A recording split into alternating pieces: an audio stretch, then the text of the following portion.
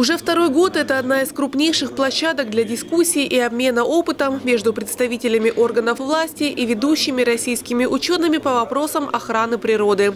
В частности, на конференции обсуждали, как не допустить исчезновения редких видов растений и животных. Есть виды э, редкие, значит, уязвимые, э, которые встречаются отдельными парами. Э, например, сокол сапсан э, встречается у нас. Ну, этот, этот вид, правда, начал немножко э, возрождать свою численность. Тем не менее, он не так и многочисленный. Это вид красной книги, э, который, кстати, встречается на многих ОПТ. Сегодня как раз э, будет доклад об этом.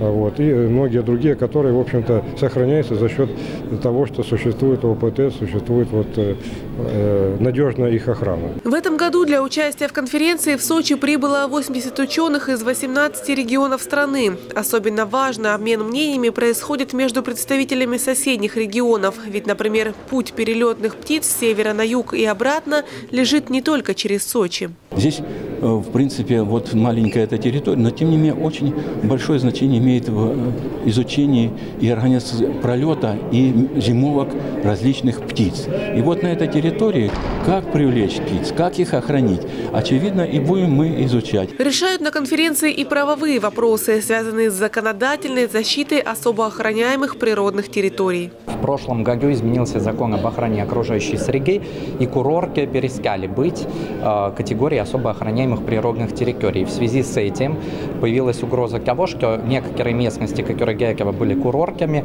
могут быть застроены. Поэтому оперативно нужно самые ценные участки э, э, превратить в другие опыты, в природные парки, в заказники, в памятники природы, ну и так далее. Итоги конференции подведут 4 декабря. Галина Захарова, Демид Даниловский, телекомпания ФКТ.